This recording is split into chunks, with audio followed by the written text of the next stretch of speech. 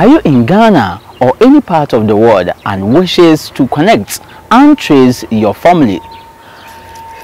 Hey, hey, hey, Yeduma.